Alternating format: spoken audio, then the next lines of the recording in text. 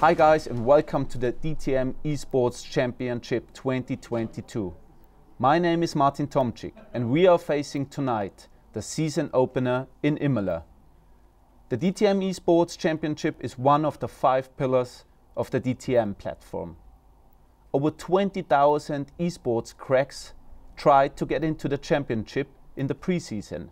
Now we have 31 participants. And now it's my turn to try it out.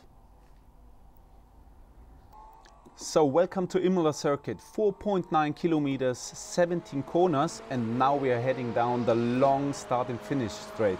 Actually, it's the longest straight on the circuit and best possibility to overtake into the hard braking zone for corner number one. Top speed around about 270. So hard braking down, third gear.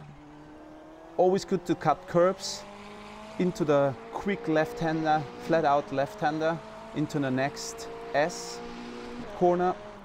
Very quick entry, but a very slow exit. You have to take care to get the exit right here. Then going into the first hairpin, very good place to overtake, but here it's very important to get the right exit uh, to get a great top speed over the quick right-hander. So this left-hander, you have to take care here, stay within two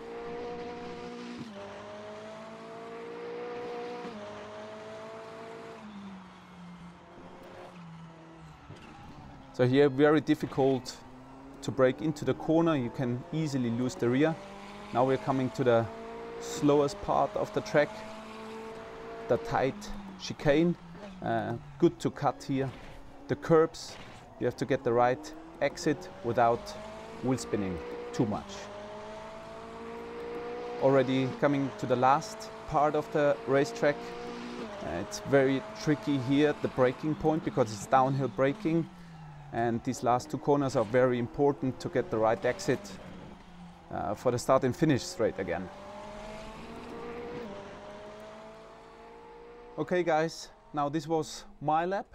Now I'm looking forward for your laps at the season opener of the DTM Esports Championship. I keep my fingers crossed for all of you.